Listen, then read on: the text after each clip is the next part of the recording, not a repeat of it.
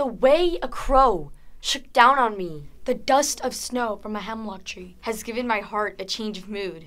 and saved some part of a day I had rued.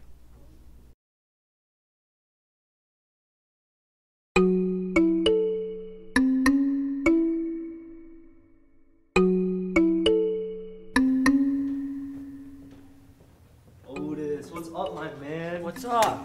So listen, I need you to help me with something. Yeah, sure, man. What's up? I need you to come with me in the group. Again?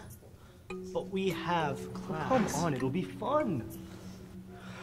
I'm waiting for Marco. It's just one time, OT. One time. The other five times weren't just one time.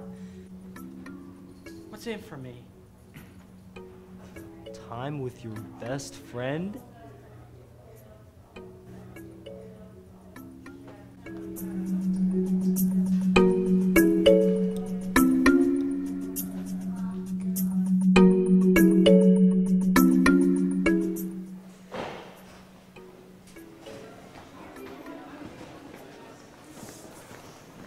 What's up, guys?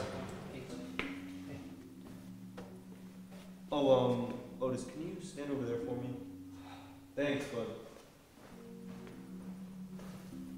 You brought him here again. Don't be like that. Why do you keep bringing him though? My mom wants me to hang out with him more. It's hard not to feel bad for the kid. Wait, Otis.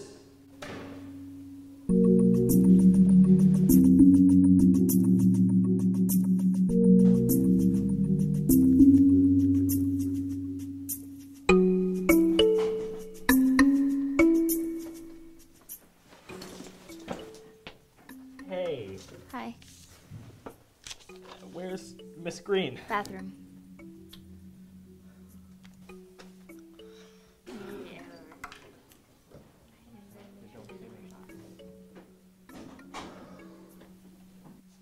Look, Jamie? and Ray. Yeah, they haven't been in school like these whole week. About it. You don't remember? Ray was like the coolest kid in middle school. Now she's like Jamie's dog. I guess.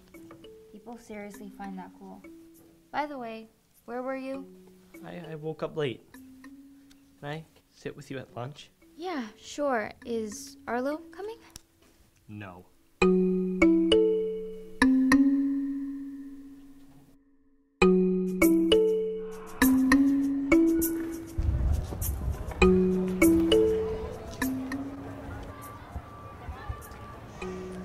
What's up with you? With me?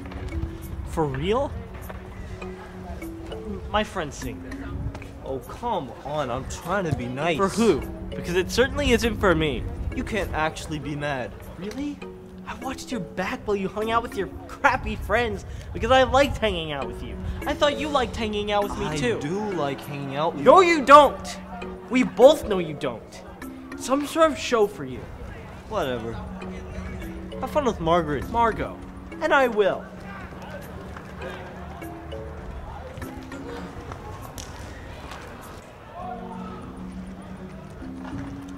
This seat taken? By you.